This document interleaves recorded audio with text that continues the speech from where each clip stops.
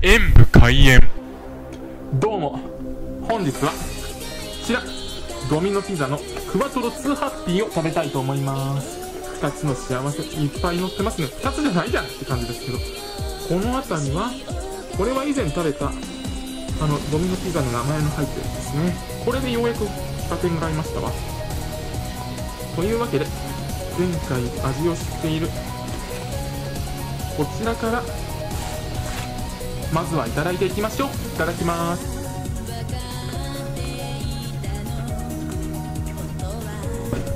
やっぱり君が看板を背負っていたんだね。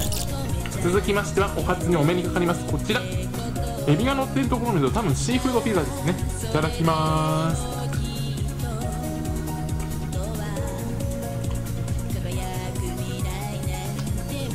海のピザは初めてかも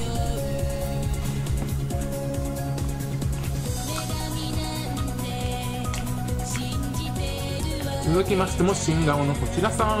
なんかちょっと辛そうなものを売ってるイメージがありますね。うん。何なんだろう。あいただきます。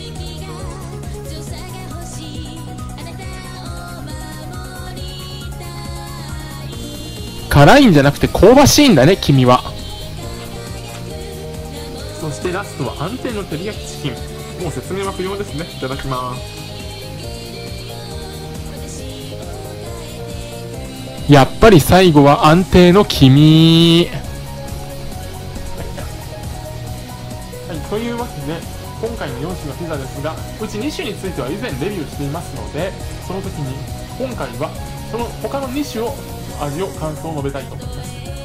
まず最初の新顔であったシーフードくんは、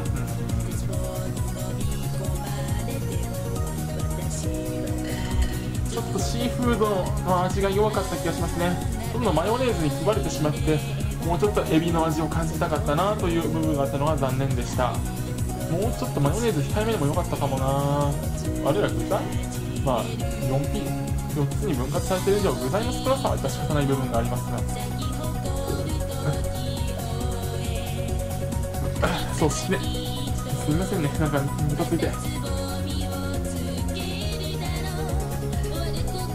そしてもう一方の新顔ですがあちらは噛んだ瞬間に辛そうと思ったのは単なるミニトマト唐辛子じゃないかと自分が勘違いしていただけで中身は粉チーズの香ばしさ。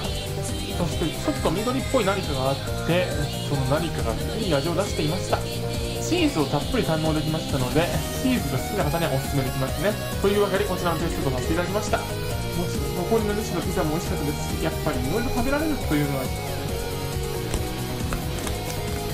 森林浴。雨でもやるなり夜明けまで。